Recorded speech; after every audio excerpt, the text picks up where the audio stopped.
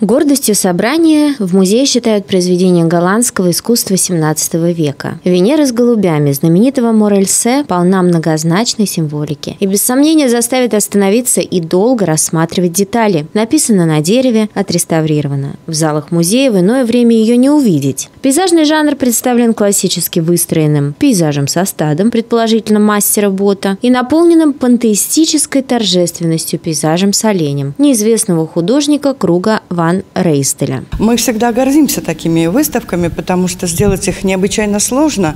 Ведь не секрет, что э, практически все музеи показывают лишь малую толику своих сокровищ, от 1 до 5 процентов своей коллекции. Так и в нашей постоянной экспозиции э, представлено около тысячи вещей, а э, владеем мы коллекцией более чем 12 тысяч подлинных произведений искусства. Многие сюжеты, которые стали популярны в XVIII веке, когда с реформами Петра I пришла не только политика и экономика, но и искусство Западной Европы, пышный декоративный характер искусства XVIII века передает натюрморт с птицами неизвестного художника. Кстати, он ни разу не был показан широкому зрителю. И сейчас впервые демонстрируется после реставрации. А искусствоведы музея изучают символику изображенного здесь, разгадывая каждый образ. Каждая работа европейского художника, созданная в прежние века, несет для нас очень много тайн тайных смыслов, загадок, а, символики, потому что действительно все работы, они настолько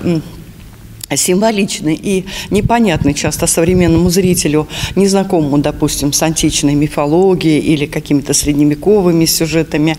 А западноевропейские художники ориентированы, конечно же, на э, историю искусства, э, начиная с античных времен, эпохи Возрождения э, и так далее. К той же эпохе принадлежат служившие украшением интерьера Десюде порты с образами античной богини Венеры. Романтические настроения середины XIX века отражены изображены в сценах борьбы человека с бушующей стихией или, напротив, в идиллических и полных созерцательности пейзажных мотивах. Увлечение художников второй половины XIX века разновременными историческими мотивами иллюстрирует произведения Мея, Бакаловича и Савини. Пиететом к искусству старых голландских мастеров проникнуто творчество живописцев второй половины XIX века Шабрие и Бартельса. Несомненно, внимание зрителей привлечет изысканный портрет итальянской певицы Аделины Патти, выполненный представителем австро-венгерского искусства начала XX века Эбертом. Интересны работы художников салонного, академического направления XIX века,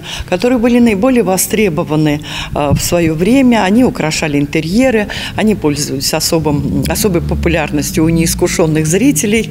Э, женские головки, различные пейзажи, жанровые сцены.